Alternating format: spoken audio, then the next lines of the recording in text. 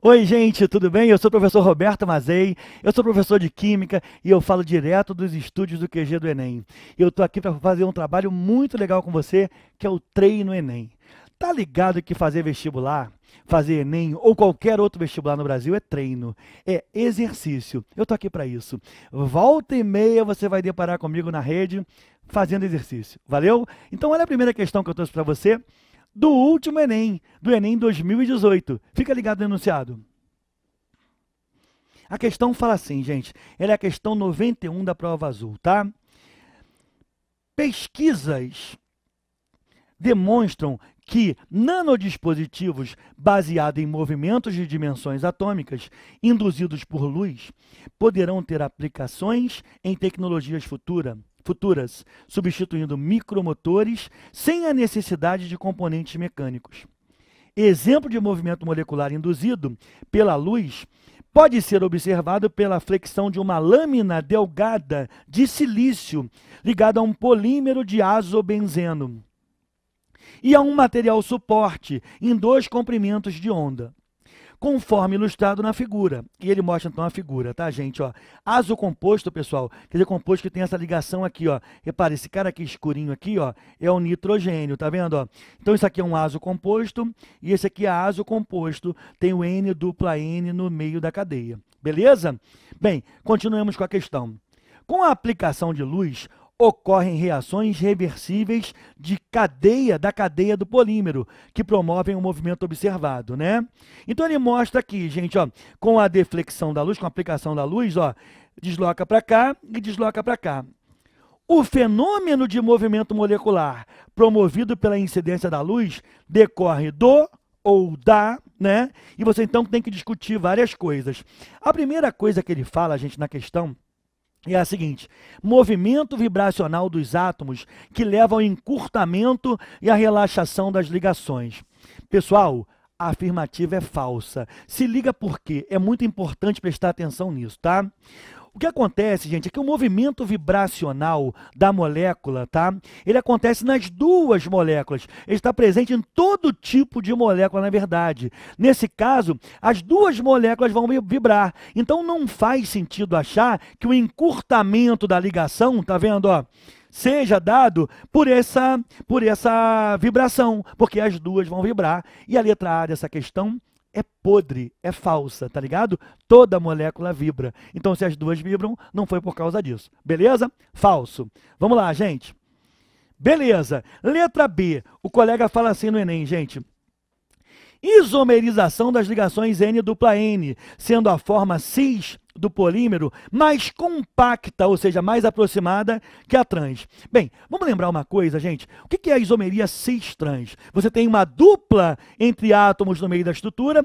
Se os grupos mais pesados, como você observa aqui, quer ver? Ó? Se os grupos mais pesados, aqui você tem o, a dupla, tá vendo? Ó? A dupla está aqui. Repara que os dois grupos mais pesados, que são esses ciclos, estão em lados opostos. Ó. O plano da ligação está aqui. Deixa eu traçar um plano fofinho para você. Ó, aqui está o plano da ligação, tá vendo? Ó? Beleza? Então, repara, a dupla ligação ela faz isso. E você tem esse grupo pesado lá de cá e o outro grupo pesado do outro lado. Eles estão transpostos. E esse é o isômero trans, né? Já aqui, gente, ó, você tem a dupla aqui, tá vendo, ó?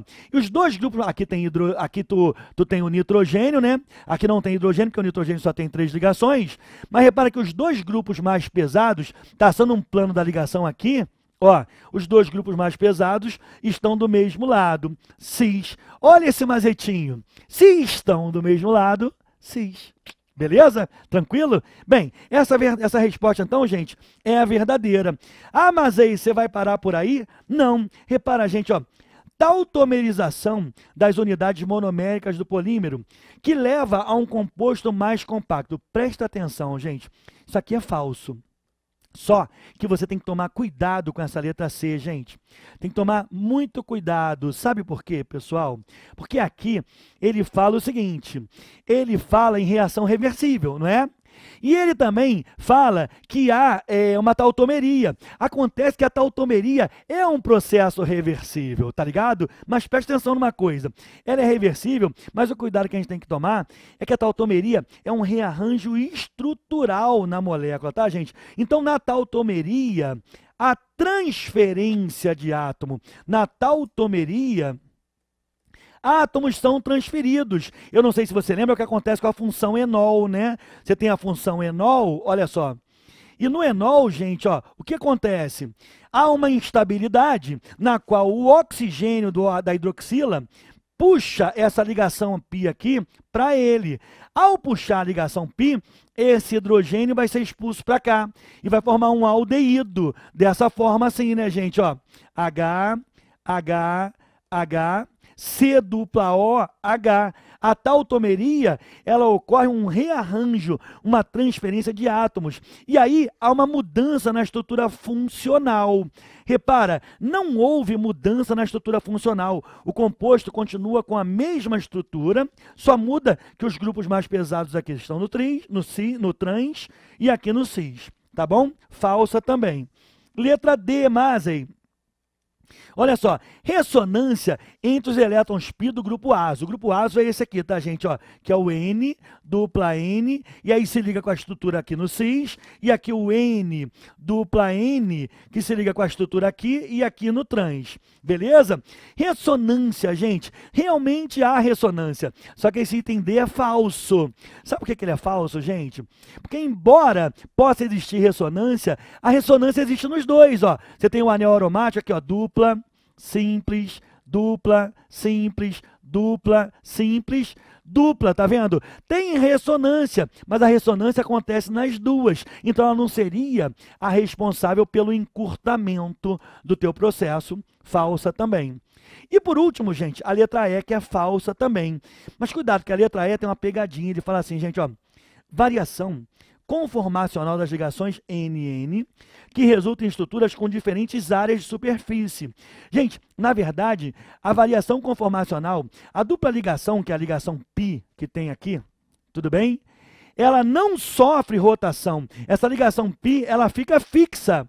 A ligação π, quando faz isso, ó, você já não consegue mais rodar esse sistema. Vai rodar como? Ó? trava. Deu para tu entender? Então não tem rotação, logo não vai ter formação de confômero. E essa aqui é falsa também. Uma questão tranquila do Enem, né? Para você marcar então aí na nossa letra B. Tá bom? Tranquilo, né, pessoal? Bem, trouxe mais questão para você. Quer dar uma olhada? Olha na tela. A questão então é assim, gente, ó. É uma questão que fala da. É muito comum até essa questão no Enem, né, gente? É a questão 92. Só para lembrar para você, a gente fala da prova azul do Enem. O carro flex é uma realidade no Brasil. Estes veículos estão equipados com um motor que tem a capacidade de funcionar com mais de um tipo de combustível. Flex é isso, né, gente? Pode ser gasolina e álcool, etc. No entanto, as pessoas que têm esse tipo de veículo, na hora do abastecimento, têm sempre a dúvida: álcool ou gasolina. Para avaliar o consumo desses combustíveis, realizou-se um percurso com um veículo, veículo flex consumindo 40 litros de gasolina. Apesar dele ser flex, foi consumido gasolina. Isso num percurso, da, no percurso de ida. E no percurso de volta, utilizou-se, gente, etanol. Mas repara que os 40 litros foram de gasolina. Foi considerado o mesmo consumo de energia, tanto no percurso de ida quanto no de volta. A energia é a mesma, não é? O quadro resume alguns dos dados aproximados sobre esses combustíveis. E aí no quadro, gente, ele faz assim, ó, etanol, dá a densidade do etanol e dá o calor de combustão, ou seja, o etanol consome, ah, libera 6 quilocalorias por grama, lembra? Delta H negativo, quer dizer exotérmica, tá? Já a gasolina tem densidade um pouco menor, 0,7, ela libera 10 quilocalorias por grama, ou seja, a gasolina libera mais caloria a cada grama. Gente, a questão quer saber o volume de etanol combustível em litros consumido no percurso de volta. É mais próximo de, e aí o Enem ah, admite que você arredonde as contas. Então repara, a tua ida foi com gasolina, 40 litros. Mas ele quer saber qual foi o volume do álcool da volta, sendo que a energia é a mesma. Cara, o que, que você vai ter que fazer, gente? Presta atenção na tela. Você vai ter que fazer o seguinte: a primeira coisa é tentar descobrir, gente, qual foi a massa de gasolina gasta. Porque olha só, a relação de calorias, está vendo, de energia, é com grama. Então eu vou ter que descobrir nos 40 litros quanto de gasolina tem. Como é que eu vou fazer isso, gente? A primeira coisa é que eu tenho densidade, tá? Você lembra que densidade é massa sobre volume? Beleza? Eu tenho volume. Quanto é o volume? O volume é de 40 litros, tá, gente? Eu tenho a densidade. Quanto é a densidade da gasolina? 0,7. Então, peraí, só para pintar e ficar didático. Se eu tenho a densidade e eu tenho volume, eu posso achar a massa. O cuidado que você tem que ter, gente, é que o volume aqui tem que estar tá em quê? Mililitro. E ele deu em litro. Então, já vamos converter. 40 litros, né? Vamos lá? 40 litros. Um litro, gente, corresponde a mil mililitros. Se você tem 40 litros, você vai ter X, 40 vezes mil. Ou seja, gente, o teu volume, na verdade, é de 40 mil mililitros. A partir desse volume, gente, e com a fórmula da densidade, eu posso descobrir a massa da gasolina. Como, Mazei? Densidade é massa sobre volume. Densidade, gente, 0,7 da gasolina. Igual a massa da gasolina que eu quero saber, vou botar gás, tá? Sobre o volume de 40 mil mililitros. Logo, gente, a massa de gasolina